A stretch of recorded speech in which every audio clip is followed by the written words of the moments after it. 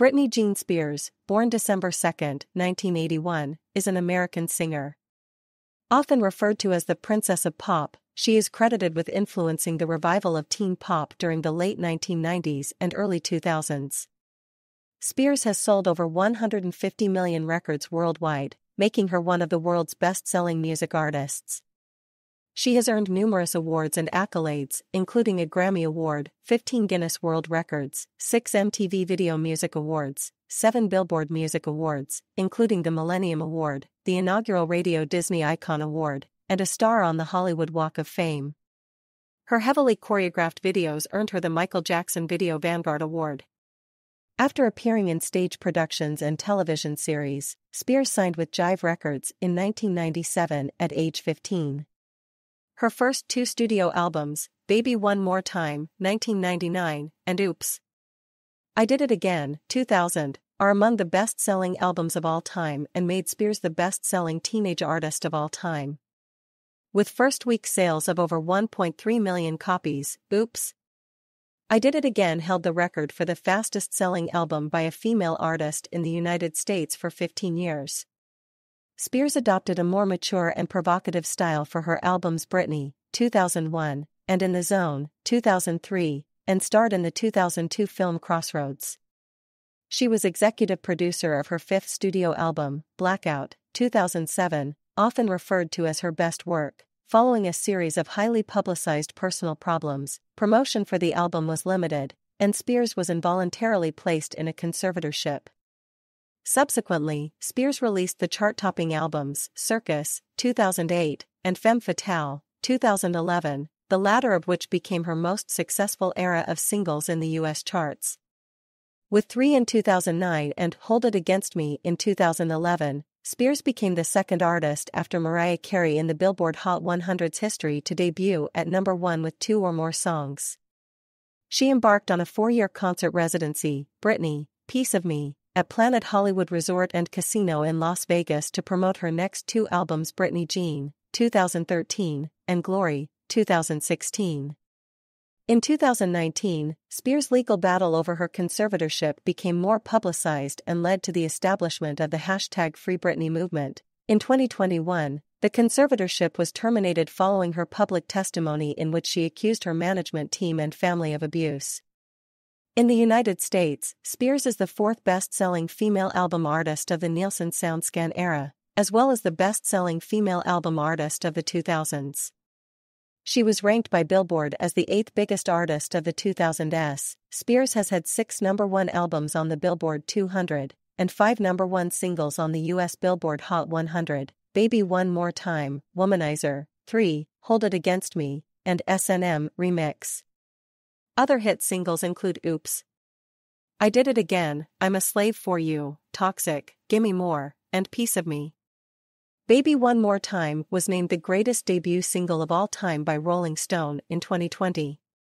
In 2004, Spears launched a perfume brand with Elizabeth Arden Incorporated. Sales exceeded $1.5 billion as of 2012, Forbes has reported Spears as the highest earning female musician of 2001 and 2012.by 2012. She had topped Yahoo's list of most searched celebrities seven times in 12 years. Time named Spears one of the 100 most influential people in the world in 2021. Spears placed first in the Time Reader poll. Life and career 1981 to 1997, early life, family, and career beginnings Britney Jean Spears was born on December 2, 1981, in McComb, Mississippi, the second child of James Jamie Parnell Spears and Lynne Irene Bridges. Her maternal grandmother, Lillian Portell, was English, born in London, and one of Spears' maternal grandfathers was Maltese. Her siblings are Bryan James Spears and Jamie Lynn Spears.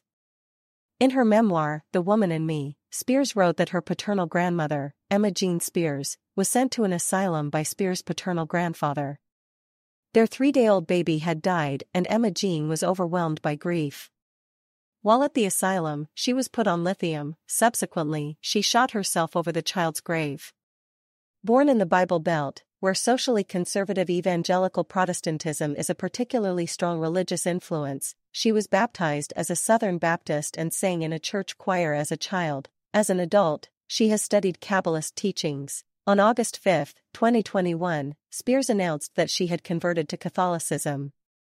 Her mother, sister, and nieces Maddie Aldridge and Ivy Joan Watson are also Catholic. However, on September 5, 2022, after Spears' ex-husband, Kevin Federline, and youngest son did an interview defending her father's actions during her conservatorship, she stated, I don't believe in God anymore because of the way my children and my family have treated me. There is nothing to believe in anymore.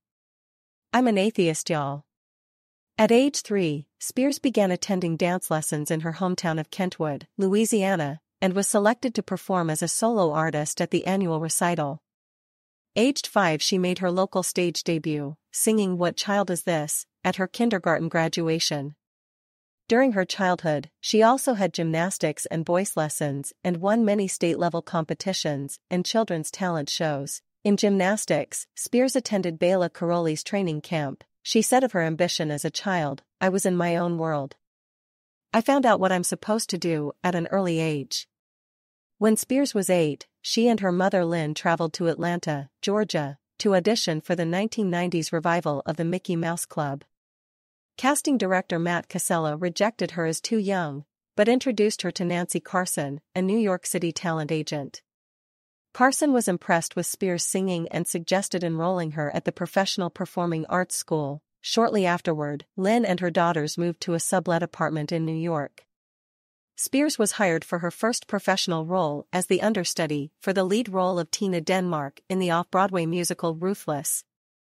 She also appeared as a contestant on the popular television show Star Search and was cast in a number of commercials.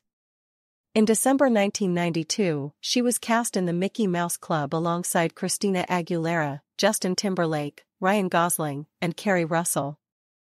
After the show was cancelled in 1994, she returned to Mississippi and enrolled at McComb's Park Lane Academy.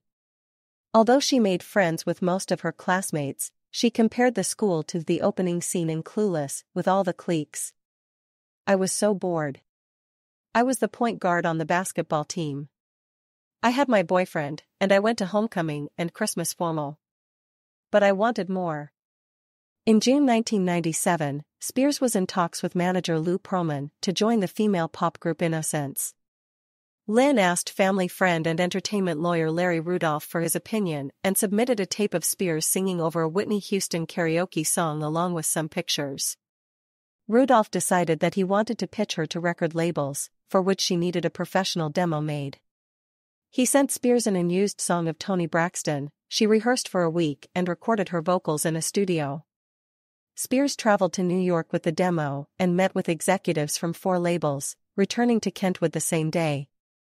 Three of the labels rejected her, saying that audiences wanted pop bands such as the Backstreet Boys and the Spice Girls, and there wasn't going to be another Madonna, another Debbie Gibson, or another Tiffany.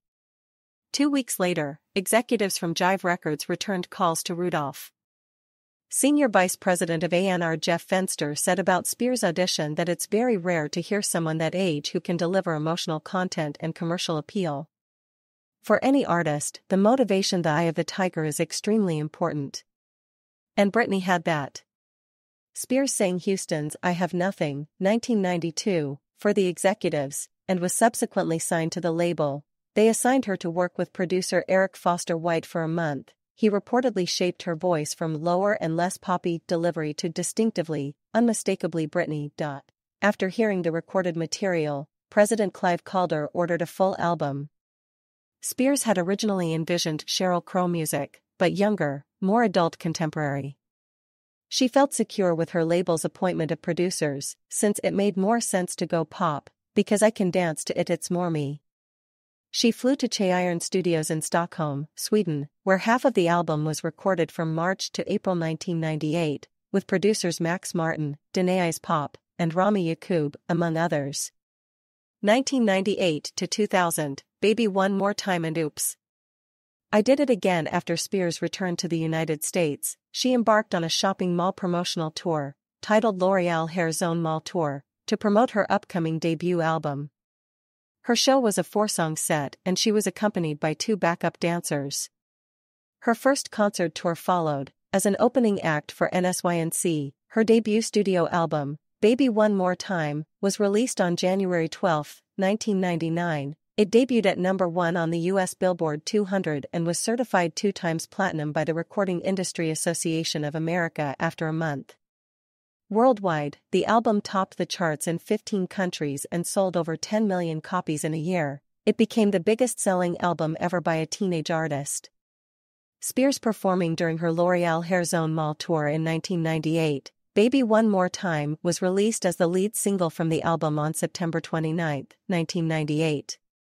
Originally, Jive Records wanted the associated music video to be animated, however, Spears rejected this idea and suggested the final concept of a Catholic schoolgirl. The single peaked at number one on the Billboard Hot 100, topping the chart for two consecutive weeks in January, February 1999. It sold more than 10 million copies, making it one of the best-selling singles of all time. Baby One More Time later received a Grammy nomination for Best Female Pop Vocal Performance. The title track also topped the singles chart for two weeks in the United Kingdom and became the fastest-selling single ever by a female artist, shipping over 460,000 copies. It would later become the 25th most successful song of all time in British chart history. Spears is the youngest female artist to have a million seller in the UK, the album's third single, You Drive Me, Crazy, became a top 10 hit worldwide and further propelled the success of the Baby One More Time album. The album has sold 30 million copies worldwide, making it one of the best selling albums of all time. It is the best selling debut album by any artist. On June 28, 1999, Spears began her first headlining, Baby One More Time tour in North America, which was positively received by critics, it also generated some controversy due to her racy outfits. An extension of the tour, titled You Drive Me, Crazy Tour, followed in March 2000. Spears premiered songs from her upcoming second album during the show, Oops. I Did It Again, Spears' second studio album, was released in May 2000.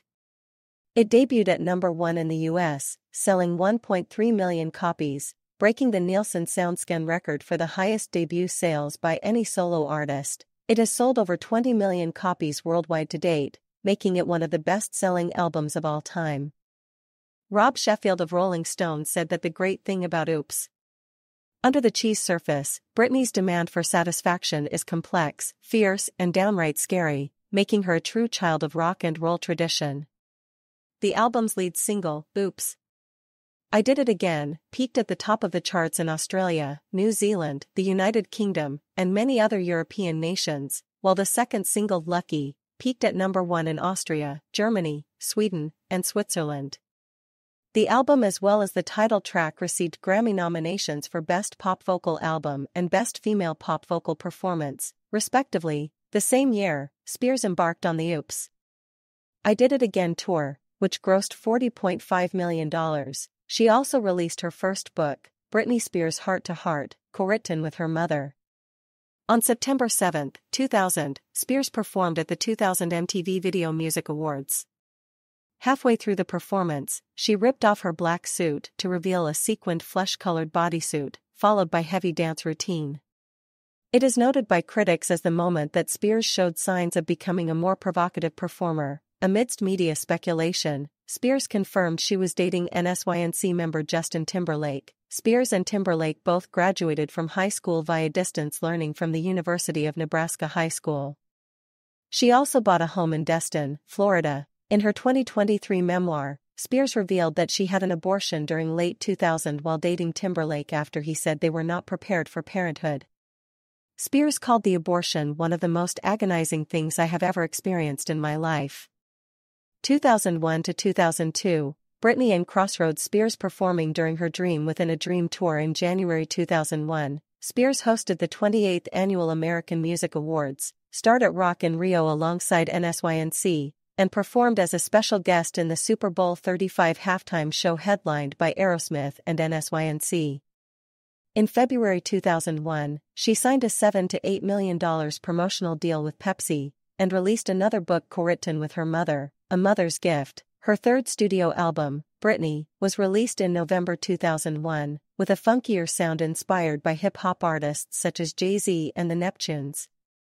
Britney debuted at number 1 in the Billboard 200 and reached top 5 positions in Australia, the United Kingdom, and mainland Europe, and has sold 10 million copies worldwide.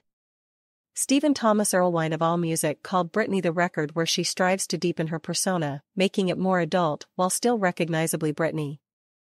It does sound like the work of a star who has now found and refined her voice, resulting in her best record yet. It was nominated for the Grammy Awards for Best Pop Vocal Album and Best Female Pop Vocal Performance for Overprotected, and in 2007 it was named one of the best albums of the preceding 25 years by Entertainment Weekly. The lead single, I'm a Slave for You, became a top 10 hit in several countries. Spears' performance of the single at the 2001 MTV Video Music Awards featured a caged tiger, wrangled by Bhagavan Antle, and a large albino python draped over her shoulders. It was harshly received by animal rights organization PETA, who claimed the animals were mistreated and scrapped plans for an anti-fur billboard that was to feature Spears. Jocelyn Vena of MTV summarized Spears' performance at the ceremony, saying, draping herself in a white python and slithering around a steamy garden.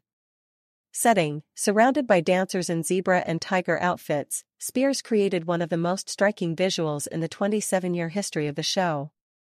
To support the album, Spears embarked on the Dream Within a Dream tour.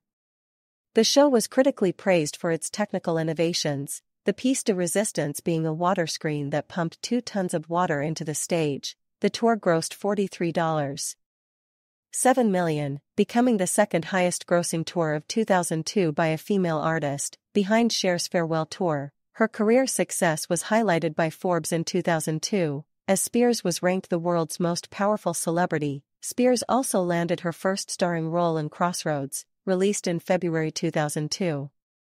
Although the film was largely panned, critics praised Spears' acting and the film was a box office success. Crossroads, which had a $12 million budget, went on to gross over $61.1 million worldwide. In June 2002, Spears opened her first restaurant, Nyla, in New York City, but terminated her relationship in November, citing mismanagement and management's failure to keep her fully apprised.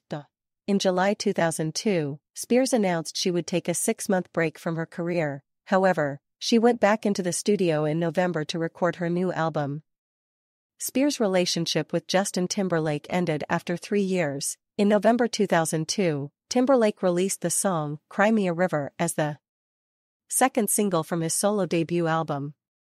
The music video featured a Spears look-alike and fueled the rumors that she had been engaging in an affair, fueled by further rumors of possible relationships involving Timberlake's choreographer Wade Robson and Limp Bizkit frontman Fred Durst, 86, Spears had initially denied the allegations of a possible affair involving Durst, despite the two being spotted together on multiple occasions, even claiming the two had a friendly connection, though in 2022, she later admitted to engaging in an affair with Robson. As a response, Spears wrote the ballad Every Time with her backing vocalist and friend Annet Artani.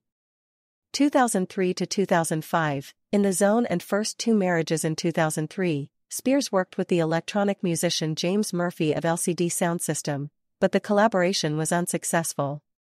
A track from their collaboration was leaked online in 2006, 94. In August, Spears opened the MTV Video Music Awards with Christina Aguilera, performing Like a Virgin. Halfway through, they were joined by Madonna, whom they both kissed.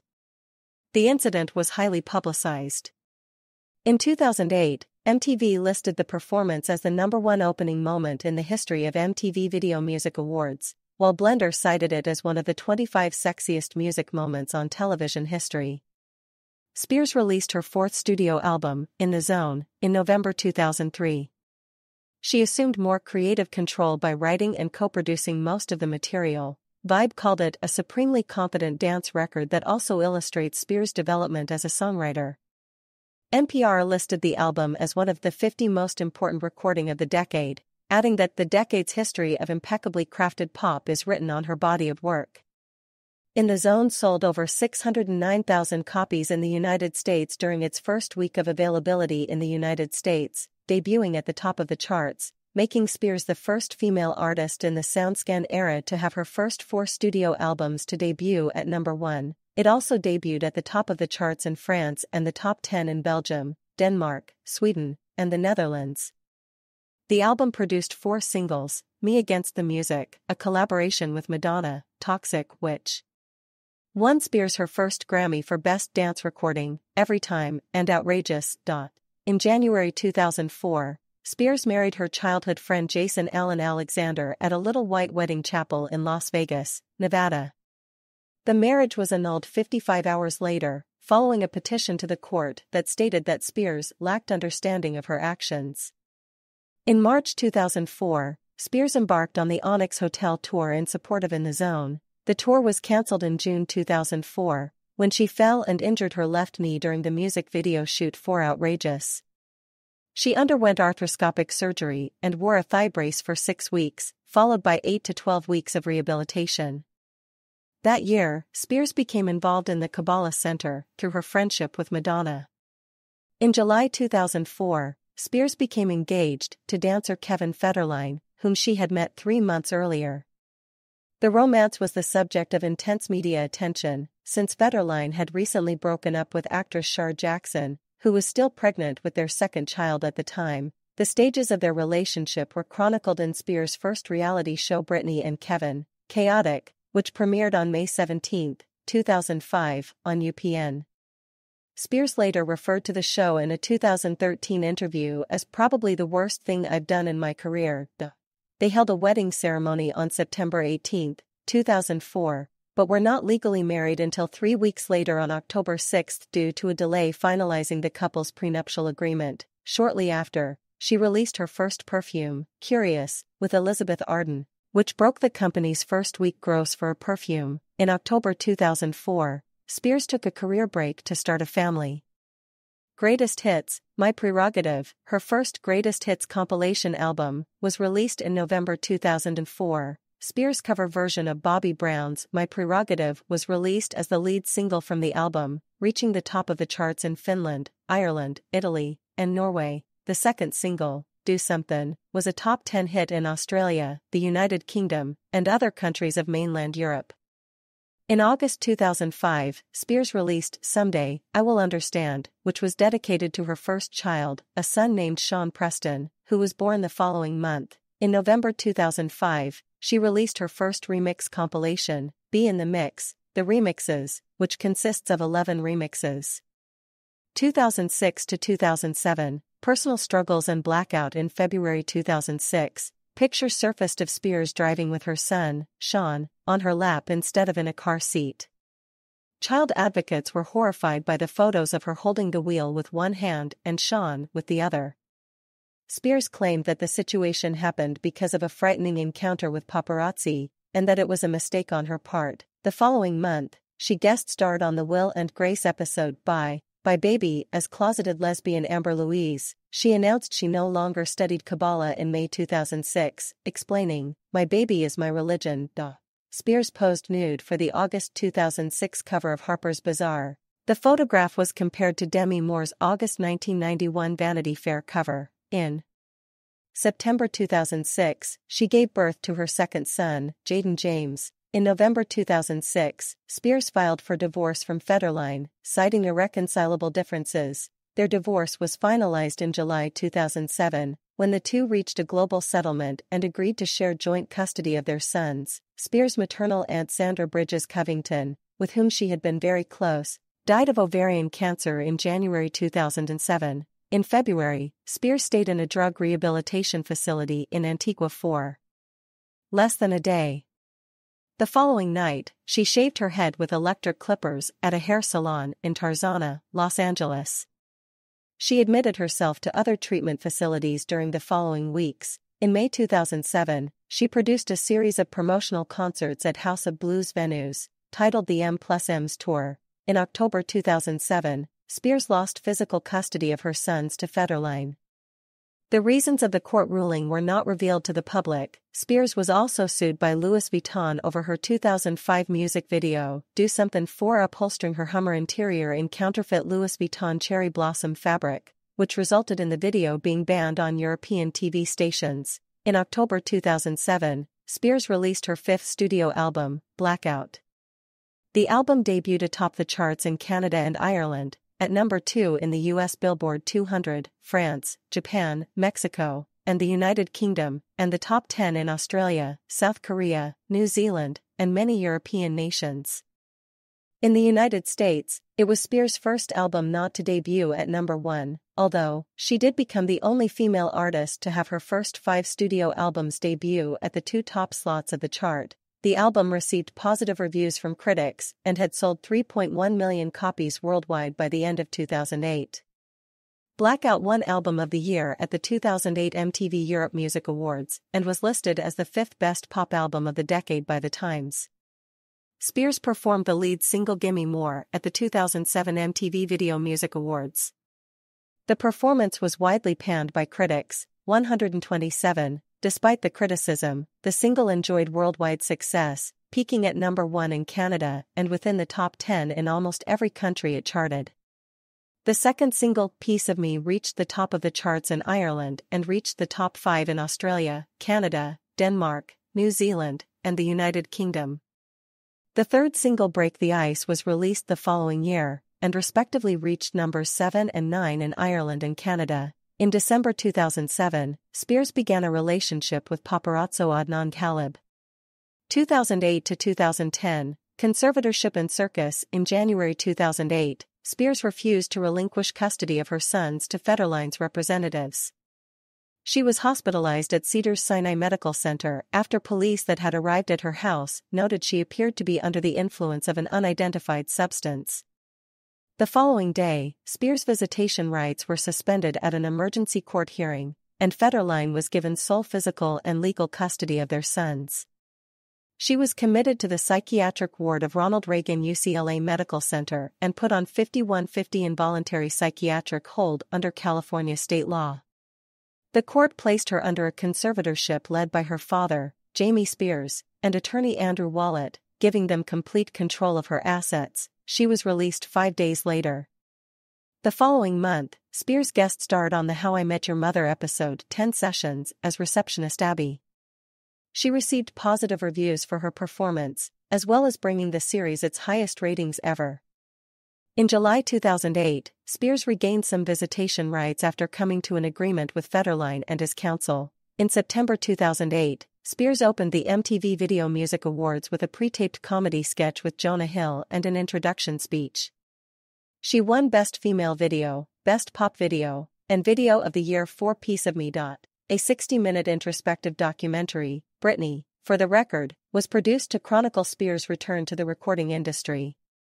Directed by Phil Griffin, For the Record was shot in Beverly Hills, Hollywood, and New York City during the third quarter of 2008. The documentary was broadcast on MTV to 5.6 million viewers for the two airings on the premiere night.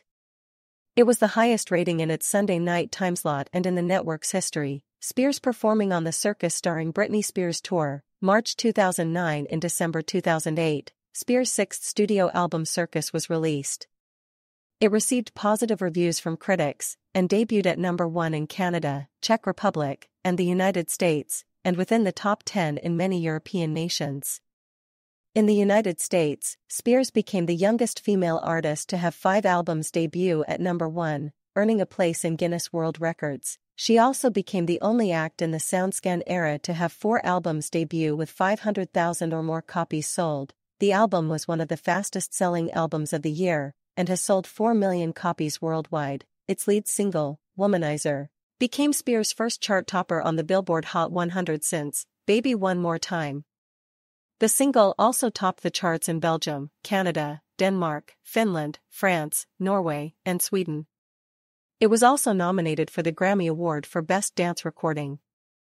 In January 2009, Spears and her father obtained a restraining order against her former manager Sam Lutfi, ex-boyfriend Adnan Ghalib, and attorney John Eardley, all of whom had been accused of conspiring to gain control of Spears' affairs. Spears embarked on the circus starring Britney Spears tour in March 2009. With a gross of US $131.8 million, it became the fifth highest grossing tour of the year. In November 2009, Spears released her second greatest hits album, The Singles Collection. The album's lead and only single, 3, became her third number one single in the US. In May 2010, Spears representatives confirmed she was dating her agent, Jason Trawick, and that they had decided to end their professional relationship to focus on their personal relationship. Spears designed a limited edition clothing line for Candie's, which was released in stores in July 2010. In September 2010, she made a cameo appearance on a Spears-themed tribute episode of the television series Glee, titled Britney Slash Britney. The episode drew the highest Nielsen rating, up to that point in the series' run, in the 18 to 49 demographic. 2011 to 2012, Femme Fatale and The X Factor in March 2011, Spears released her seventh studio album, Femme Fatale. The album peaked at number one in the United States, Canada, and Australia, and within the top 10 on nearly every other chart.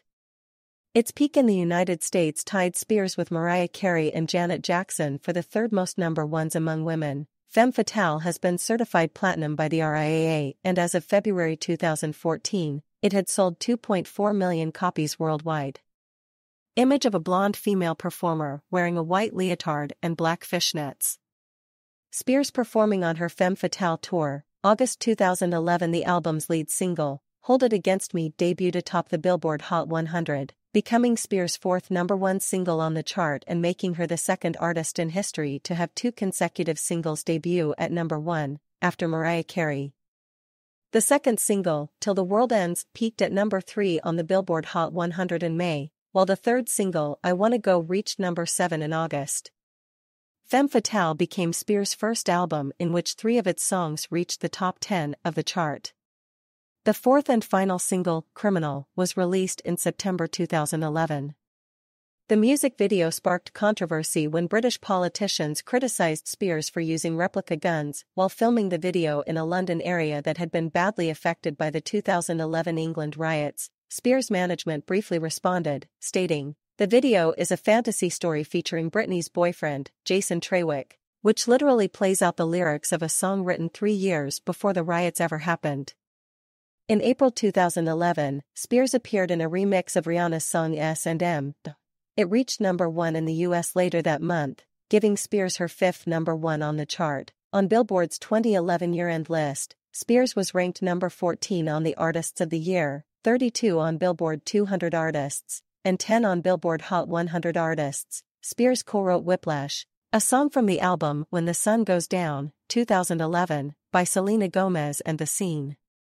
In June 2011, Spears embarked on her Femme Fatale tour, the first 10 dates of the tour grossed $6.2 million, landing the 55th spot on Pollstar's Top 100 North American Tours list for the halfway point of the year. The tour ended on December 10, 2011, in Puerto Rico after 79 performances. A DVD of the tour was released in November 2011. In August 2011, Spears received the Michael Jackson Video Vanguard Award at the 2011 MTV Video Music Awards. The next month, she released her second remix album, B in the Mix, The Remixes Volume 2. In December 2011, Spears became engaged to her longtime boyfriend Jason Trawick, who had formerly been her agent. Trawick was legally granted a role as co-conservator, alongside her father, in April 2012. In May 2012, Spears was hired to replace Paula Abdul as a judge for the second season of the USA show of The X Factor, joining Simon Cowell, L.A. Reid, and fellow new judge Demi Lovato, who replaced Nicole Scherzinger. With a reported salary of $15 million, she became the highest paid judge on a singing competition series in television history. However, Katy Perry broke her record in 2018 after Perry was signed for a $25 million salary to serve as a judge on ABC's revival of American Idol. Spears mentored the teens category, her final act, Carly Rose Sonnenklar, was named the runner-up of the season. Spears did not return for the show's third season and was replaced by Paulina Rubio. Spears appeared on the song Scream and Shout with will.i.am, which was released as the third single from his fourth studio album, Hashtag Willpower, 2013. The song later became Spears' sixth number one single on the UK singles chart and peaked at number 3 on the Billboard Hot 100. Scream and Shout was among the best-selling songs of 2012 and 2013 with denoting sales of over 8.1 million worldwide. The accompanying music video was the third most viewed video in 2013 on Vevo, despite the video being released in 2012. 185 failed verification in December 2012. Forbes named her music's top-earning woman of 2012 with estimated earnings of $58 million. 2013 to 2015, Britney Jean and Britney, Piece of Me Spears began work on her eighth studio album, Britney Jean, in December 2012, and enlisted will.i.am as its executive producer in May 2013. In January 2013, Spears and Jason Trawick ended their engagement. Trawick was also removed as Spears' co-conservator, restoring her father as the sole conservator. Following the breakup, she began dating David Lucado in March, the couple split in August 2014. During the production of Britney Jean, Spears recorded the song Ooh La La for the soundtrack of The Smurfs 2, which was released in June 2013. On September 17, 2013, she appeared on Good Morning America to announce her two-year concert residency at Planet Hollywood Resort and Casino in Las Vegas, titled Britney, Piece of Me. It began on December 27, 2013, and included a total of 100 shows throughout 2014 and 2015. During the same appearance, Spears announced that Britney Jean would be released on December 3, 2013, in the United States. It was released through RCA Records due to the disbandment of Jive Records in 2011, which had formed the joint RCA-Jive label group, initially known as BMG Label Group, between 2007 and 2011. Britney Jean became Spears' final project under her original recording contract with Jive, which had guaranteed the release of eight studio albums. The record received a low amount of promotion and had little commercial impact, reportedly due to time conflicts involving preparations for Britney, Piece of Me. Upon its release, the record debuted at number 4 on the US Billboard 200 with first week sales of 107,000 copies, becoming her lowest peaking and lowest selling album in the United States. Britney Jean debuted at number 34 on the UK albums chart, selling 12,959 copies in its first week. In doing so, it became Spears' lowest charting and lowest selling album in the country. Work Bitch was released as the lead single from Britney Jean in September 2013, it debuted and peaked at number 12 on the US Billboard Hot 100 marking Spears' 31st entry on the chart and the fifth highest debut of her career on the chart, and her seventh in the top 20. It also marked Spears' 19th top 20 entry and overall her 23rd top 40 single. The song marked Spears' highest sales debut since her 2011 number 1 single, Hold It Against Me. Work Bitch debuted and peaked at number 7 on the UK singles chart. The song also peaked within the top 10 of the charts in Brazil, Canada, France, Italy, Mexico, and Spain. The second single Perfume premiered in November 2013. It debuted and peaked at number 76 on the US Billboard Hot 100. In October 2013, she was featured as a guest vocalist on the song SMS, Bangerz, by Miley Cyrus, from the latter's fourth studio album Bangerz, 2013. On January 8, 2014, Spears won Favorite Pop Artist at the 40th People's Choice Awards at the Microsoft Theater in Los Angeles. In August 2014, Spears confirmed she had renewed her contract with RCA and that she was writing and recording new music for her next album, Spears. Announced via Twitter in August 2014 that she would be releasing an intimate apparel line called The Intimate Britney Spears. It was available to be purchased beginning on September 9. 2014, in the United States and Canada through Spears Intimate Collection website. It was later available on September 25 for purchase in Europe. The company now ships to over 200 countries including Australia and New Zealand. On September 25, 2014, Spears confirmed on Good Morning Britain that she had extended her contract with the Axis and Planet Hollywood Resort and Casino to continue Britney, Piece of Me for two additional years, Spears began dating television producer Charlie Ebersol in October 2014. The pair were split in June 2015. On May 14, 2015, Spears released a single, Pretty Girls, with Iggy Azalea, It reached number 29 on the Billboard Hot 100 and charted moderately in international territories. Spears and Azalea performed the track live at the 2015 Billboard Music Awards from the Axis, the home of Spears' residency, to positive critical response. Entertainment Weekly praised the performance, noting Spears gave one of her most energetic televised performances in years.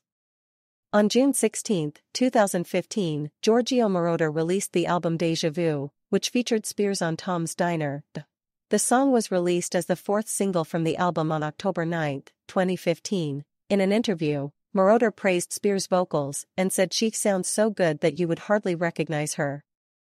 At the 2015 Teen Choice Awards, Spears received the Candie's Style Icon Award, her ninth Teen Choice Award. In November 2015, Spears guest starred as a fictionalized version of herself on the CW series Jane the Virgin. On the show, she danced to Toxic with Gina Rodriguez's character. 2016 to 2018, Glory, continued residency, and the Piece of Me tour in 2016, Spears confirmed via social media that she had begun recording her ninth studio album. On March 1, 2016, V announced that Spears would appear on the cover of its 100th issue, dated March 8, 2016. In addition to revealing three different covers shot by photographer Mario Testino for the Milestone publication, the V editor-in-chief, Stephen Gan, said Spears was selected because of her status as an icon in the industry and asked, Who in our world did not grow up listening to her music? In May 2016, Spears launched a casual role-play gaming application, Britney Spears, American Dream. The app, created by Glu Mobile, was made available through both iOS and Google Play. On May 22, 2016, Spears performed a medley of her past singles at the 2016 Billboard Music Awards. In addition to opening the show, Spears was honored with the Billboard Millennium Award. On July 15, 2016, Spears released the lead single, Make Me, from her ninth studio album, featuring guest vocals from American rapper G-Eazy. The album, Glory, was formally released on August 26, 2016. On August 16, 2016, MTV and Spears announced that she would perform at the 2016 MTV Video Music Awards. The performance marked Spears' first time returning to the VMA stage after her widely panned performance of Gimme More at the 2007 show nine years earlier. Along with Make Me, Spears and G-Eazy also performed the latter's hit song Me, Myself and I. Spears appeared on the cover of Marie Claire UK for the October 2016 issue. In the publication, Spears revealed that she had suffered from crippling anxiety in the past, and that motherhood played a major role in helping her overcome it. My boys don't care if everything isn't perfect. They don't judge me, Spears said in the issue. In November 2016, during an interview with Las Vegas blog, Spears confirmed she had already begun work on her next album, stating, I'm not sure what I want the next album to sound like. I just know that I'm excited to get into the studio again and actually have already been back recording. In the same month, she released a remix version of Slumber Party as the second single from Glory, featuring Tinashe. She began dating Slumber Party's music video co-star Sam Asghari after the two met on set. In January 2017, Spears received four wins out of four nominations at the 43rd People's Choice Awards, including Favorite Pop Artist, Female Artist, Social Media Celebrity, as well as comedic collaboration for a skit with Ellen DeGeneres for The Ellen DeGeneres Show. In March, 2017, Spears announced that her residency concert would be performed abroad as a world tour, Britney, live in concert, with dates in select Asian cities. In April 2017, the Israeli Labor Party announced that it would reschedule its July primary election to avoid conflict with Spears' sold out Tel Aviv concert, citing traffic and security concerns. Spears manager Larry Rudolph also announced the residency would not be extended following her contract expiration with Caesars Entertainment at the end of 2017. On April 29, 2017, Spears became the first recipient of the Icon Award at the 2017 Radio Disney Music Awards. On November 4, 2017, Spears attended the grand opening of the Nevada Childhood Cancer Foundation Britney Spears campus in Las Vegas. Later that month, Forbes announced that Spears was the eighth highest earning female musician, earning $34 million in 2017. On December 31, 2017, Spears performed the final show of Britney, Piece of Me. The final performance reportedly brought in dollar 1.172 million, setting a new box office record for a single show in Las Vegas, and breaking the record previously held by Jennifer Lopez. Performances of Toxic and Work Bitch were recorded on earlier dates and aired on ABC's Dick Clark's New Year's Rockin' Eve to a record audience of 25.6 million. In January 2018, Spears released her 24th perfume with Elizabeth Arden, Sunset Fantasy, and announced the Piece of Me tour, which took place in July 2018 in North America and Europe. Tickets were sold out within minutes for major cities, and additional dates were added to meet the demand. Pitbull was the supporting act for the European leg. The tour ranked at 86 and 30 on Pollstar's 2018 year-end Top 100 Tours chart both in North America and worldwide, respectively. In total, the tour grossed $54.3 million with 260,531 tickets sold and was the sixth highest grossing female tour of 2018, and was the United Kingdom's second best selling female tour of 2018. On March 20, 2018, Spears was announced as part of a campaign for French luxury fashion house Kenzo. The company said it aimed to shake up the jungle world of fashion with Spears' La Collection Memento No. 2 campaign. On April 12, 2018, Spears was honored with the 2018 GLAAD Vanguard Award at the GLAAD Media Awards for her role in accelerating acceptance for the LGBTQ community.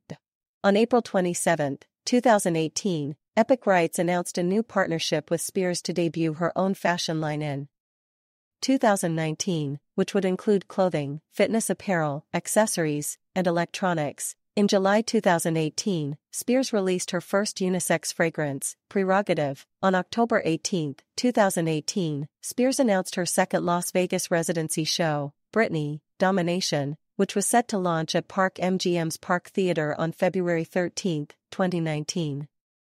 Spears was slated to make $507,000 per show, which would have made her the highest paid act on the Las Vegas Strip. On October 21, 2018, Spears performed at the Formula One Grand Prix in Austin, the final performance of her Piece of Me tour. 2019 to 2021, conservatorship dispute, hashtag Free Britney, and abuse allegations on January 4, 2019, Spears announced an indefinite hiatus and the cancellation of her Las Vegas residency after her father, Jamie, suffered a near-fatal colon rupture. In March 2019, Andrew Wallet resigned as co-conservator of her estate after 11 years. Spears entered a psychiatric facility amidst stress from her father's illness that same month. The following month, a fan podcast, Britney's Gram, released a voicemail, Message from a source who claimed to be a former member of Spears' legal team. They alleged that Jamie had cancelled the residency due to Spears' refusal to take her medication, that he had been holding her in the facility against her will since January 2019 after she violated a no driving rule, and that her conservatorship was supposed to have ended in 2009. The allegations gave rise to a movement to terminate the conservatorship, hashtag Free Britney, which received support from celebrities including singers Cher, Paris Hilton, and Miley Cyrus, and the nonprofit organization American Civil Liberties Union. On April 22, 2019, fans protested outside the West Hollywood City Hall and demanded Spears' release. Spears said all was well two days later and left the facility later that month. The hashtag Free Britney movement in front of the Lincoln Memorial, 2021 in a May 2019 hearing, Judge Brenda Penny ordered a professional evaluation of the conservatorship. In September, Spears' ex-husband Federline obtained a restraining order against Britney's father, Jamie, following an alleged physical altercation between Jamie and one of her sons. Spears' longtime care manager, Jody Montgomery, temporarily replaced Jamie as her conservator that same month, which also saw a hearing where no decisions about the arrangement were reached. An interactive pop-up museum dedicated to Spears, dubbed The Zone, opened in Los Angeles in February 2020, though it was later suspended in the wake of the COVID 19 pandemic. She released Glory's Japanese exclusive bonus track, Mood Ring, as a single, and debuted a new cover of the album to streaming and digital platforms worldwide in May 2020. In August, Jamie called the hashtag Free Britney movement a joke and its organizers, conspiracy theorists, duh.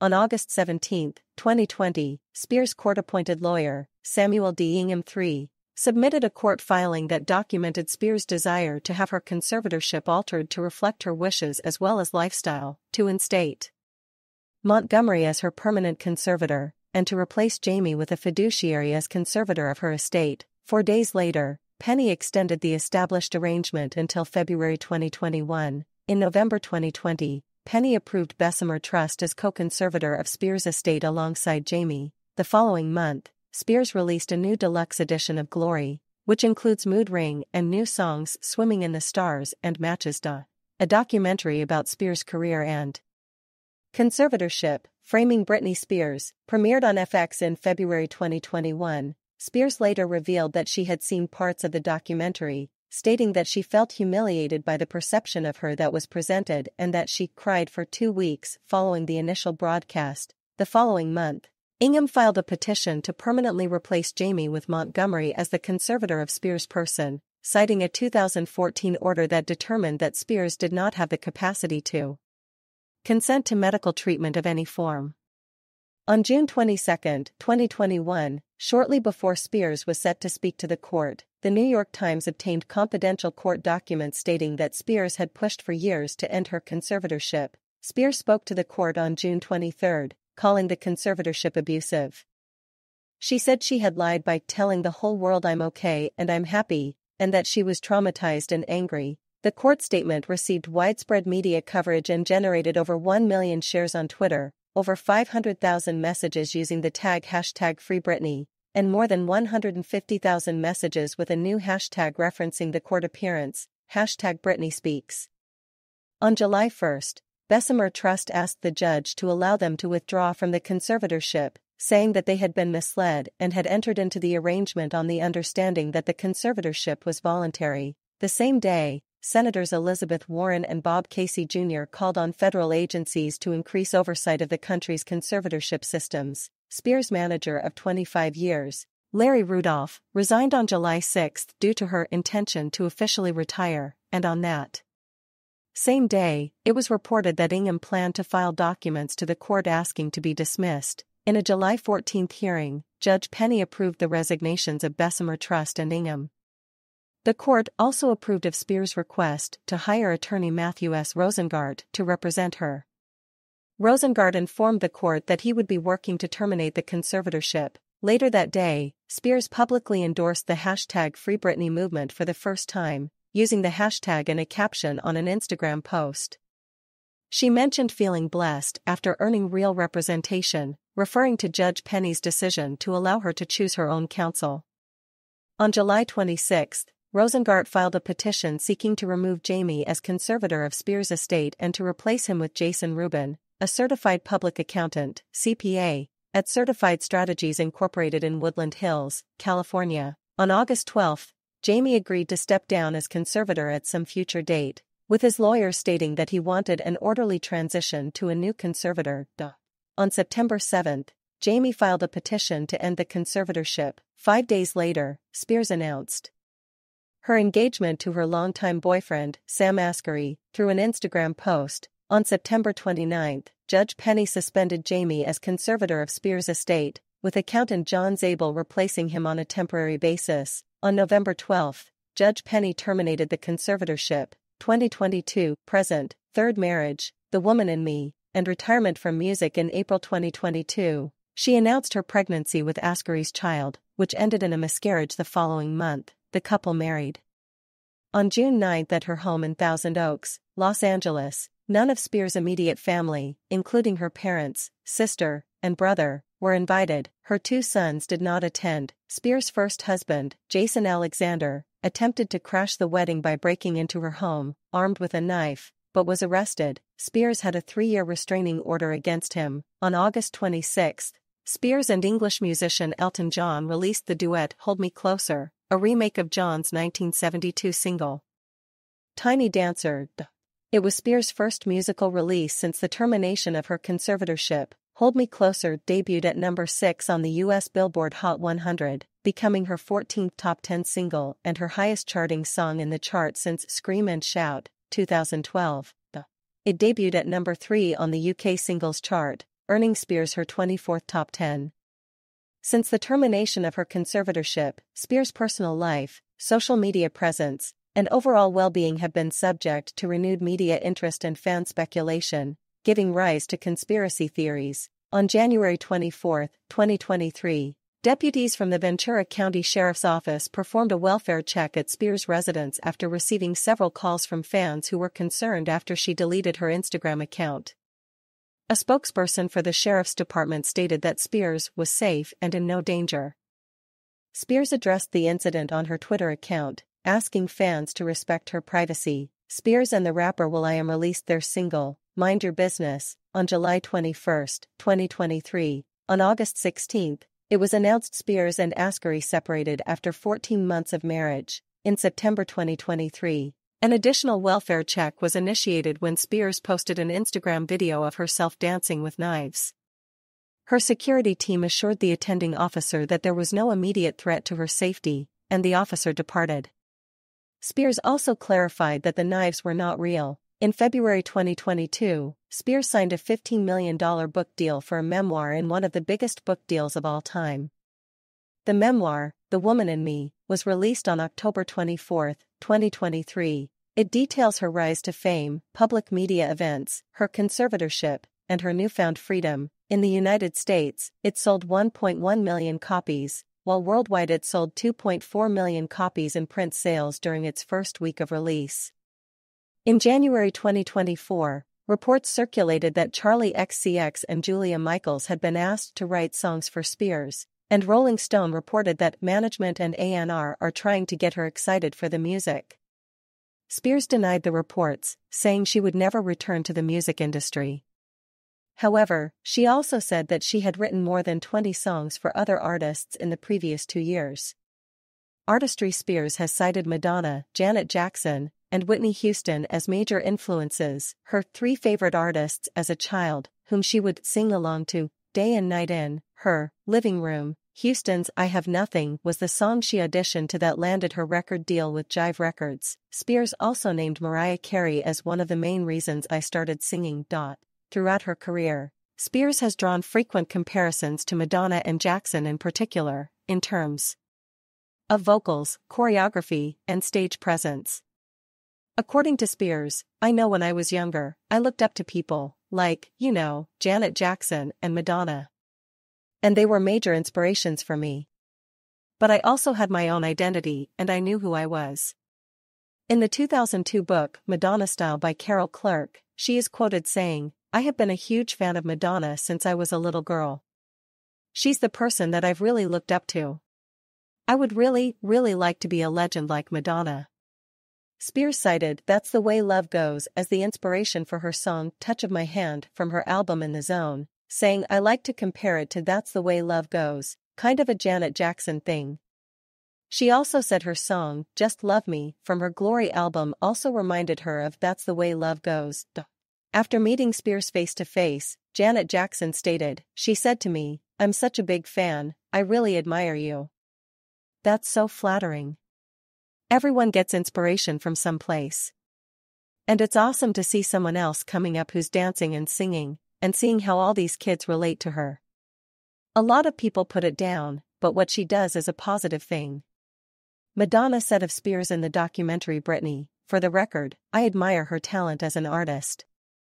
There are aspects about her that I recognize in myself when I first started out in my career. Spears has also named Michael Jackson, Mariah Carey, Sheryl Crow, Otis Redding, Shania Twain, Brandy, Beyonce, Natalie Imbruglia, Cher, and Prince as inspirations, and younger artists such as Selena Gomez and Ariana Grande. Musical style Spears is described as a pop artist, and generally explores the genre in the form of dance pop. Following her debut, she was credited with influencing the revival of teen pop in the late 1990s. Rob Sheffield of Rolling Stone wrote, Spears carries on the classic archetype of the rock and roll teen queen, the dungaree doll, the angel baby who just has to make a scene. In a review of Baby One More Time, Stephen Thomas Erlewine of AllMusic described her music as a blend of infectious, rap-inflected dance pop and smooth balladry. Oops. I Did It Again saw Spears working with several R&B producers to create a combination of bubblegum, urban soul, and Raga. Her third studio album, Britney derived from the teen pop niche, R, rhythmically and melodically, but was described as sharper, tougher than what came before, incorporating genres such as R&B, disco, and funk. Spears has explored and heavily incorporated the genres of electropop and dance music in her records, as well as influences of urban and hip hop, which are most present on In the Zone and Blackout. In the Zone also experiments with Eurotrance, reggae, and Middle Eastern music. Femme Fatale and Britney Jean were also heavily influenced by electronic music genres. Spears' ninth studio album, Glory, is more eclectic and experimental than her previous released work. She commented that it took a lot of time, it's really different. There are like two or three songs that go in the direction of more urban that I've wanted to do for a long time now, and I just haven't really done that. Baby One More Time and Oops. I did it again address themes such as love and relationships from a teenager's point of view. Following the massive commercial success of her first two studio albums, Spears' team and producers wanted to maintain the formula that took her to the top of the charts. Spears, however, was no longer satisfied with the sound and themes covered on her records. She co-wrote five songs and chose each track's producer on her third studio album, Britney, which lyrics address the subjects of reaching adulthood, sexuality, and self-discovery, sex, dancing, freedom, and love continued to be Spears' music main subjects on her subsequent albums. Her fifth studio effort, Blackout, also addresses issues such as fame and media scrutiny, including on the song Piece of Me. Spears' music has also been noted for some catchphrases. The opening in her debut single, Baby One More Time, Oh, Baby Baby is considered to be one of her signature lines and has been parroted in the media by various artists such as Nicole Scherzinger and Ariana Grande. It has been used in varying forms throughout her music, such as Simply, Baby, and Oh Baby, as well as the blackout track, Ooh Ooh Baby. On the initial development of Baby One More Time, Barry Weiss noted Spears' inception of the catchphrase from her strange ad-libbing during the recording of the song. He commented further, we thought it was really weird at first. It was strange. It was not the way Max wrote it. But it worked. We thought it could be a really good opening salvo for her. The opening line in Gimme More, It's Britney, bitch has become another signature phrase. An early review of Blackout suggested the phrase was simply laughable. Amy Roberts of Bustle called it an indelible cultural turning point, transforming a frenetic, floundering moment in the superstar's career to one of strength and empowerment. Voice Spears is a soprano. Other sources state that she possesses a contralto vocal range. Prior to her breakthrough success, she is described as having sung much deeper than her highly recognizable trademark voice of today, with Eric Foster White, who worked with Spears on her debut album, Baby One More Time, being cited as shaping her voice over the course of a month upon being signed to Jive Records to where it is today distinctively, unmistakably Britney. Rami Yacoub, who co-produced Spears' debut album with lyricist Max Martin, commented, I know from Denniz Pop end. Max's previous productions, when we do songs, there's kind of a nasal thing. With NSYNC and the Backstreet Boys, we had to push for that mid-nasal voice. When Britney did that, she got this kind of raspy, sexy voice. Guy Blackman of The Age wrote that the thing about Spears, though, is that her biggest songs, no matter how committee created or impossibly polished, have always been convincing because of her delivery, her commitment, and her presence. Spears expresses perfectly the conflicting urges of adolescence, the tension between chastity and sexual experience, between hedonism and responsibility, between confidence and vulnerability. Producer William Orbit, who worked with Spears on her album Britney Jean, stated regarding her vocals, Britney didn't get so big just because she put on great shows. She got to be that way because her voice is unique. You hear two words and you know who is singing.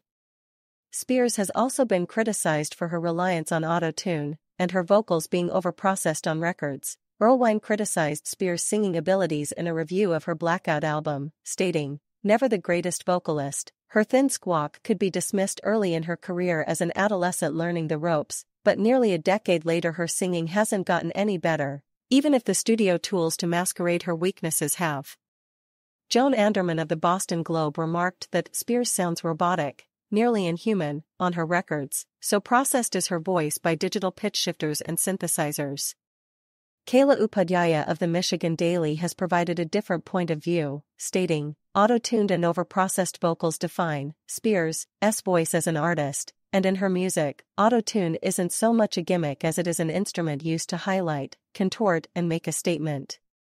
Adam Markovitz of Entertainment Weekly opines that Spears is no technical singer, that's for sure.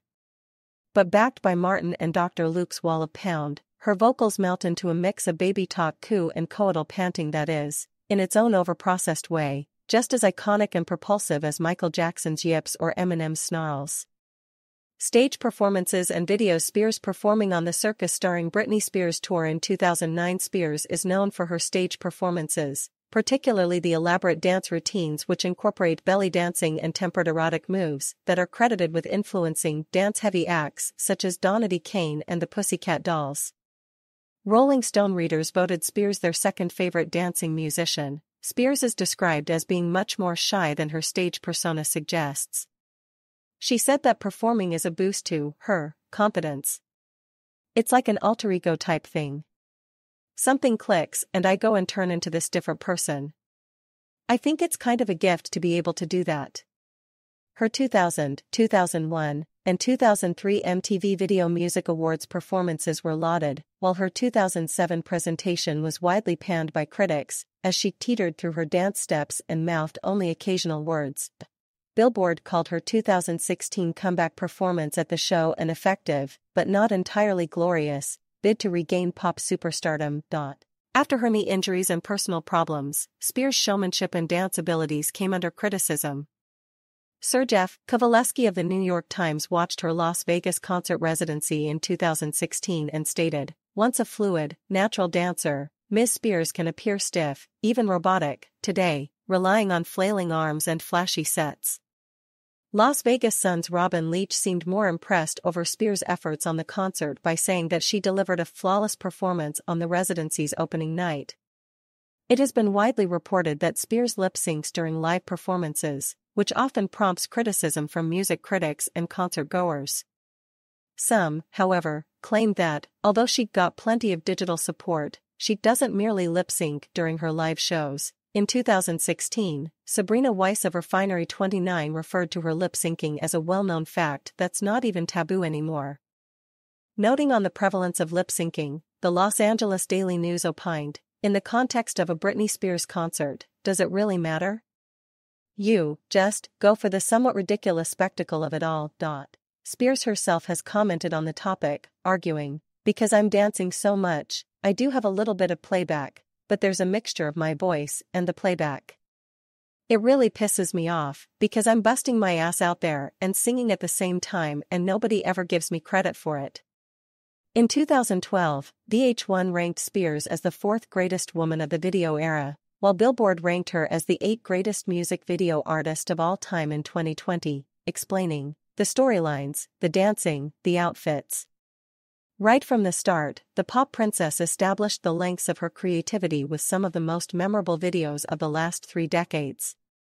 She has been retroactively noted as the pioneer for her early career videography. She conceptualized the iconic Catholic schoolgirl and cheerleader motif in the Baby One More Time video, rejecting the animation video idea.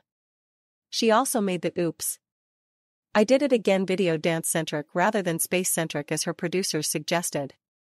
She also used her dancer's intuition to help select the beats for each track. Public image wax figure of Spears on display at Madame Tussauds in London. Upon launching her music career with Baby One More Time, Spears was labeled a teen idol, and Rolling Stone described her as the latest model of a classic product, the unerotic pop star who performs her duties with vaudevillian pluck and spokesmodel charm. The April 1999 cover of Rolling Stone featured Spears lying on her bed, wearing an open top revealing her bra and shorts while clutching a Teletubby. The American Family Association, AFA, referred to the shoot as a disturbing mix of childhood innocence and adult sexuality and called on God-loving Americans to boycott stores selling Britney's albums. Spears addressed the outcry, commenting, What's the big deal? I have strong morals. I'd do it again. I thought the pictures were fine. And I was tired of being compared to Debbie Gibson and all of this bubblegum pop all the time. Shortly prior, Spears had announced publicly she would remain abstinent until marriage. An early criticism of Spears dismissed her as a manufactured pop star, the product of a Swedish songwriting factory that had no real hand in either her music or her persona, which Vox editor Constance Grady assesses as being perpetuated from the fact that Spears debuted in the late 1990s, when music was dominated by rockism, that prizes so-called authenticity and grittiness of rock above all else. Spears' slick, breezy pop was an affront to rockist sensibilities, and claiming that Spears was fake was an easy way to dismiss her.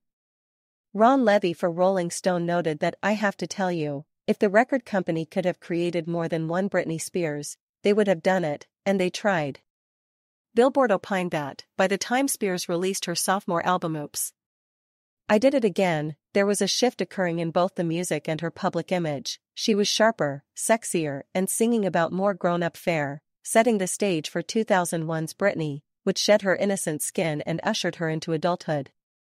Britney's lead single I'm a Slave for You and its music video were also credited for distancing her from her previous wholesome bubblegum star image. Stephen Thomas Erlewine of AllMusic remarked, if 2001's Britney was a transitional album, capturing Spears at the point when she wasn't a girl and not yet a woman, its 2003 follow-up, In the Zone, is where she has finally completed that journey and turned into Britney, the adult woman.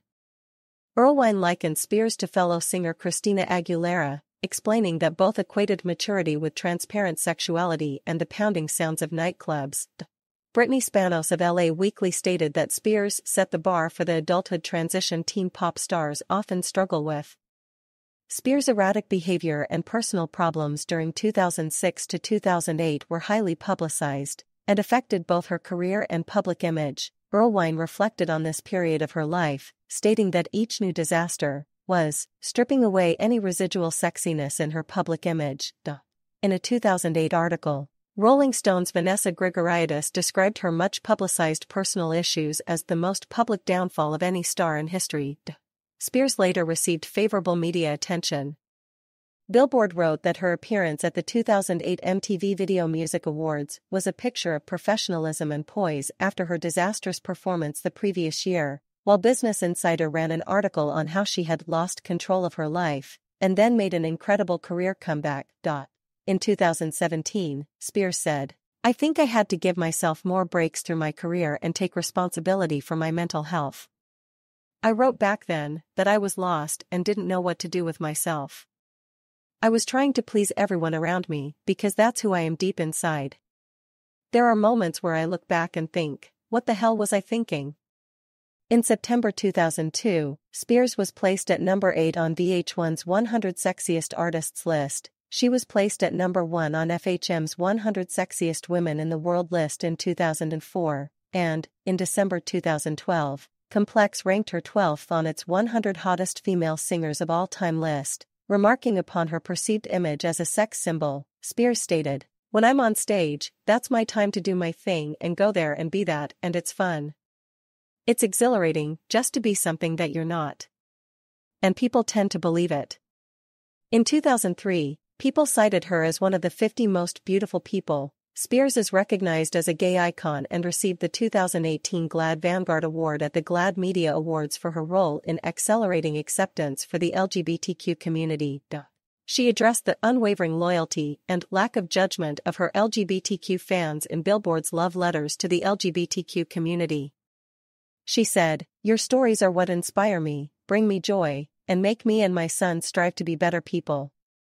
Manuel Betancourt of Vice wrote about the queer adoration, especially of gay men, on Spears, and said that where other gay icons exude self possession, Spears' fragile resilience has made her an even more fascinating role model, closer to Judy Garland than to Lady Gaga. She's a glittering mirror ball, a fractured reflection of those men on the dance floor back onto themselves.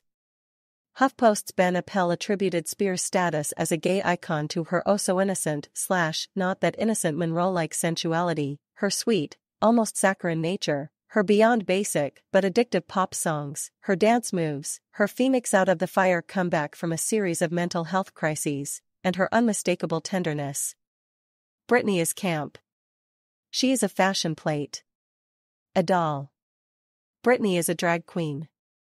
Since her early years in the public eye, Spears has been a tabloid fixture and a paparazzi target. Steve Huey of AllMusic remarked that among female singers of Spears' era, her celebrity star power was rivaled only by Jennifer Lopez. Britney Spears was Yahoo's most popular search term between 2005 and 2008, and has been in a total of seven different years. Spears was named as most searched person in the Guinness World Records Book Edition 2007 and 2009. She was later named as the most searched person of the decade 2000 to 2009. As a public figure, Spears has never been known to her fans as a politically active, committed or even aware entertainer. In a 2003 interview with Tucker Carlson, she commented on President George W. Bush and the Iraq War, saying that we should just trust our president in every decision that he makes, and be faithful in what happens. Michael Moore included the footage of Spears' answer in his anti-Bush documentary Fahrenheit 9-11, which, according to the Washington Times' James Frazier, presented her as an example of a naive American blindly trusting a dishonest commander-in-chief and fueled the urban legend of a conservative Spears. Frazier also said that the few positions she has taken can hardly be considered conservative, such as supporting same-sex marriage. In 2016, Spears posted pictures of a meeting with Hillary Clinton on social media. She described Clinton as an inspiration and beautiful voice for women around the world. In December 2017, Spears publicly showed support for the DREAM Act in the wake of the announcement that Donald Trump would end the DACA policy, which previously granted undocumented immigrants who came to the country as minors a renewable two-year period of deferred action from deportation. She posted a photo of herself on social media wearing a black t-shirt that reads, We are all dreamers in white letters. The caption read, Tell Congress to pass the hashtag DREAM Act. In 2020, amidst the COVID 19 pandemic, Spears posted an image on Instagram and wrote, During this time of isolation, we will feed each other, redistribute wealth, strike. We will understand our own importance from the places we must stay, along with three emoji roses, a symbol commonly used by the Democratic Socialists of America. She later voiced support for the Black Lives Matter movement and George Floyd protests in the wake of his murder, saying, My heart breaks for my friends in the black community, and for everything going on in our country. Right now, I think we should all do what we can to listen, learn, do better, and use our voices for good. On September 15, 2021, Spears was named one of the 100 most influential people of 2021 by Time. A few days before the editor's list was released, Spears was put at the top of the readers' voting list of which personalities should be included on the annual Time 100 list.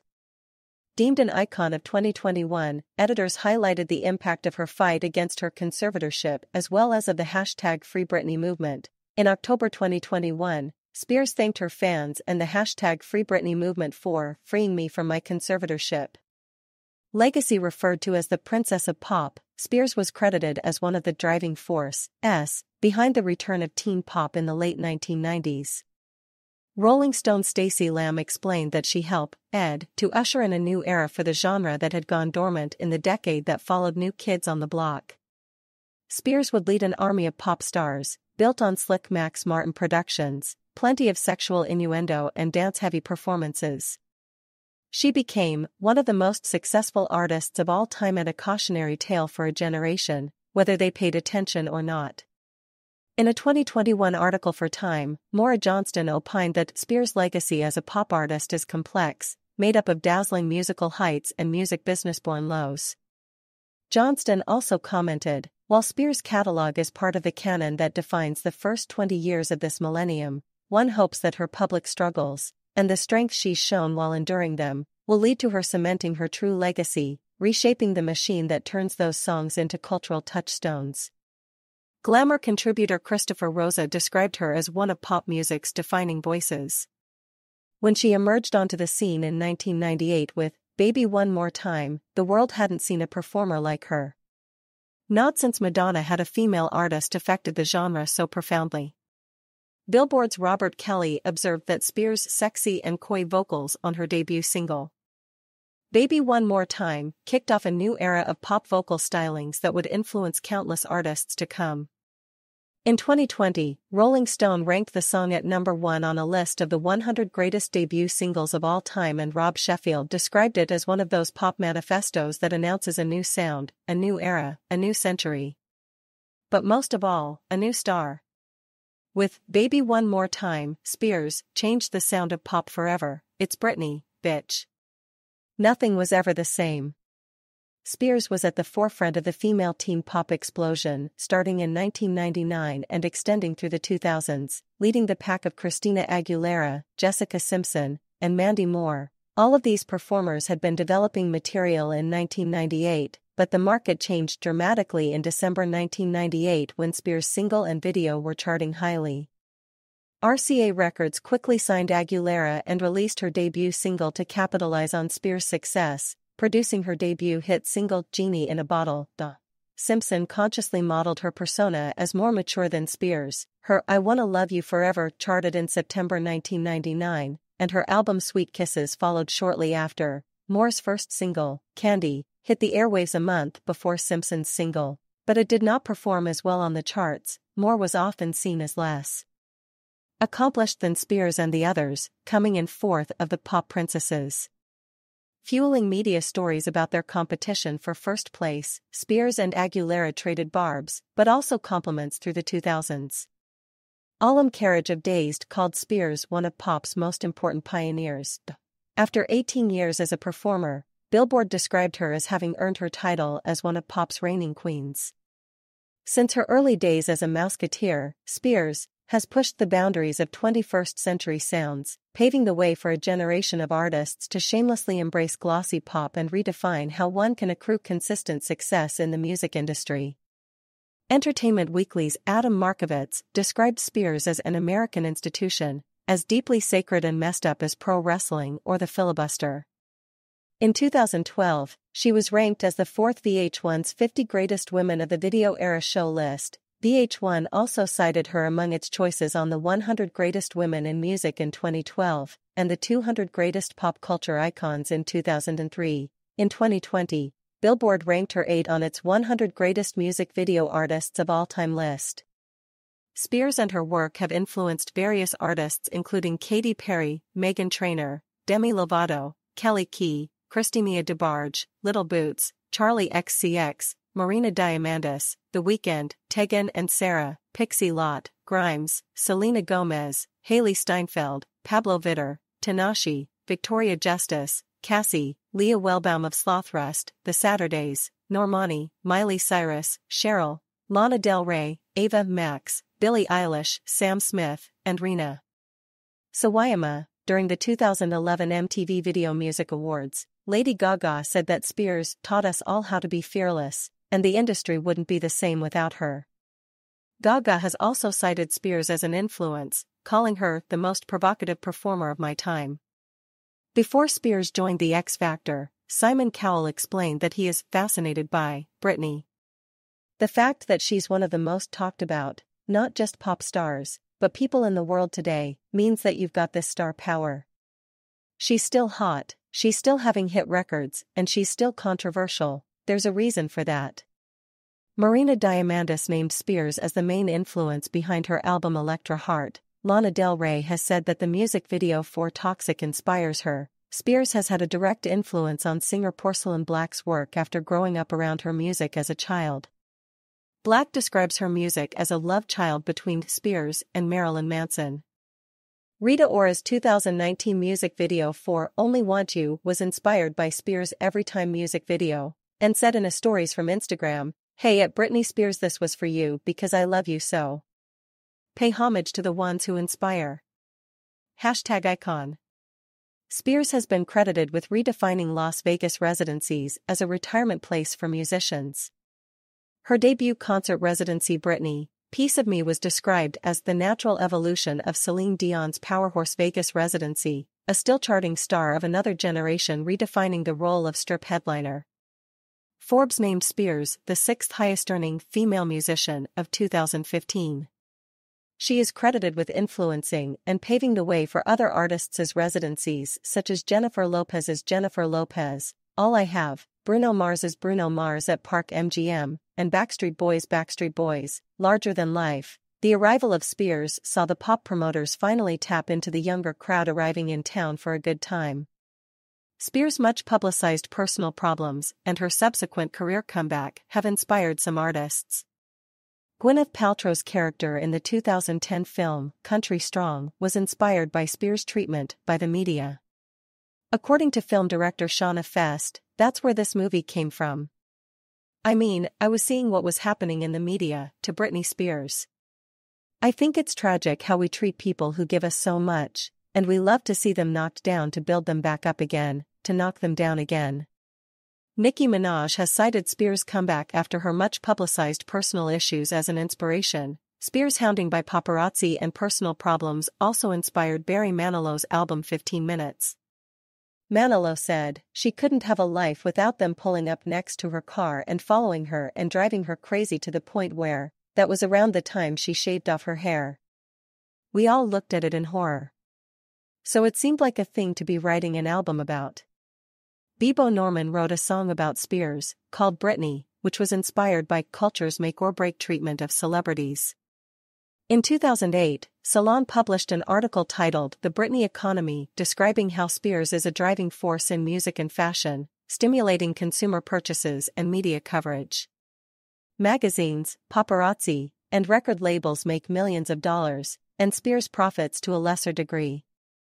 Along with Alicia Silverstone, Christy Turlington, and Naomi Campbell, Spears has been credited with introducing the navel piercing to mainstream culture. Achievement Spears Awards and accolades include a Grammy Award, 15 Guinness World Records, 6 MTV Video Music Awards, including the Michael Jackson Video Vanguard Award, seven Billboard Music Awards, including the Millennium Award Wink with a Frown, the inaugural Radio Disney Icon Award, the GLAAD Media Awards Vanguard Award, and a star on the Hollywood Walk of Fame. Spears is listed by the Guinness World Records as having the best selling album by a teenage solo artist for her debut studio album, Baby One More Time, which sold over 13 million copies in the United States, Melissa Ruggieri of the Richmond Times Dispatch reported, she's also marked for being the best-selling teenage artist. Before she turned 20 in 2001, Spears had sold over 37 million albums worldwide. As of 2023, according to the Evening Standard, Spears has sold over 150 million records worldwide, making her one of the best-selling music artists of all time. She also sold more than 70 million records in the United States, including 36.9 million digital singles and 33.6 million digital albums. Spears is further recognized as the best-selling female albums artist of the 2000s in the United States, as well as the fifth overall. In December 2009, Billboard ranked Spears the eighth artist of the 2000s decade in the United States. She is one of the few artists in history to have had a number one single and a number one studio album in the US during each of the three decades of her career, with three in 2009 and Hold It Against Me in 2011. She became the second artist after Mariah Carey in the Hot 100's history to debut at number one with two or more songs. In 2016, Spears ranked at number 20 on Billboard's Greatest of All Time Top Dance Club Artists list. Other ventures in 2000, Spears released a limited edition of sunglasses titled Shades of Britney. In 2001, she signed a deal with shoe company Skechers and a 7 to $8 million promotional deal with Pepsi, their biggest entertainment deal at the time. Aside from numerous commercials with the latter during that year, she also appeared in a 2004 Pepsi television commercial in the theme of gladiators with singers Beyonce, Pink, and Enrique Iglesias. On June 19, 2002, she released her first multi-platform video game, Britney's Dance Beat, which received positive reviews. In March 2009, Spears was announced as the new face of clothing brand Candie's. Dari Marder, chief marketing officer for the brand, said, Everybody loves a comeback and nobody's doing it better than Britney. She's just poised for even greater success. In 2010, Spears designed a limited edition line for the brand, which was released in stores in July 2010. In 2011, she teamed up with Sony, Make Up For Ever, and Plenty of Fish to release her music video for Hold It Against Me, earning her $500,000 for the product placement. Spears also teamed up with Hasbro in 2012 to release an exclusive version of Twister Dance, which includes a remix of Till the World Ends. She was also featured on a commercial, which was directed by Ray Kay. To promote the game, Spears was also featured on the commercial of Twister Dance Rave, and the game included a Twister remix of Circus. In March 2018, it was revealed that Spears would be the face of Kenzo, a contemporary French luxury clothing house. Spears' range of commercial deals and products also includes beauty care products and perfumes. She released her first perfume with Elizabeth Arden, Curious in 2004, which broke the company's first week gross for a perfume. By 2009, she had released seven more perfumes including Fantasy. In 2010, Spears released her eighth fragrance, Radiance. In 2011, Radiance was reissued as a new perfume titled Cosmic Radiance, Worldwide, Spears sold over 1 million bottles in the first five years, with gross receipts of $1.5 billion. In 2016, Spears contacted Glu Mobile to create her own role playing game, Britney Spears American Dream. The app officially launched in May 2016 and is compatible with iOS and Android. On June 17, 2016, Spears announced the release of her 20th fragrance, Private Show, as of January 2018, Spears has released 24 fragrances through Elizabeth Arden. Philanthropy Spears founded the Britney Spears Foundation, a charitable entity set up to help children in need. The philosophy behind the foundation was that music and entertainment has a healing quality that can benefit children. The foundation also supported the annual Britney Spears Camp for the Performing Arts, where campers had the opportunity to explore and develop their talents. In April 2002, through the efforts of Spears and the Britney Spears Foundation, a grant of $1 million was made to the Twin Towers Fund to support the children of uniformed service heroes affected by the terrorist attacks of September 11, 2001, including New York City Fire Department and its Emergency Medical Services Command, the New York City Police Department, the Port Authority of New York and New Jersey, the New York State Office of Court Administration and other government offices. However, it was reported in 2008 that the foundation had a deficit of $200,000. After Spears went through conservatorship, her father and lawyer Andrew Wallet zeroed out the effort, leading to its closure in 2011. On October 30, 2001, Spears, alongside Bono and other popular recording artists under the name Artists Against AIDS Worldwide, released an album consisting of multiple versions of Marvin Gaye's What's Going On intending to benefit AIDS programs in Africa and other impoverished regions. In the wake of Hurricane Katrina in 2005, Spears donated $350,000 to Music Rising. Later in 2011, she raised $200,000 during an evening of Southern style at a private residence in Beverly Hills to benefit the St. Bernard Project, with the help of several celebrities, including Hilary Duff, Selena Gomez, Kelly Osbourne, Kellen Lutz, and Kim Kardashian, Spears has also helped several charities during her career, including Madonna's Kabbalah-based Spirituality for Kids, Cancer Charity Gilda's Club Worldwide, Promises Foundation, and United Way, with the latter two focused on giving families from various disadvantaged situations new hope and stable foundations for the future.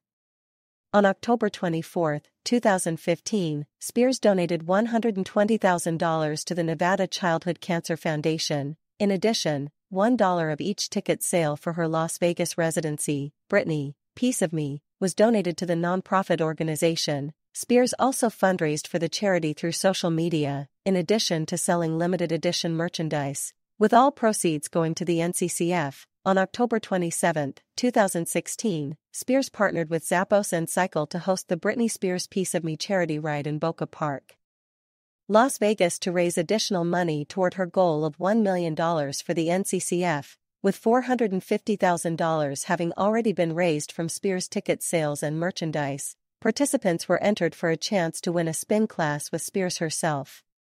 The event ultimately went on to raise $553, 130 the fundraising ultimately led to the development of the NCCF Britney Spears campus in Las Vegas, which saw its grand opening on November 4, 2017. Spears also regularly participates in Spirit Day to combat bullying of LGBTQ youth and bullying.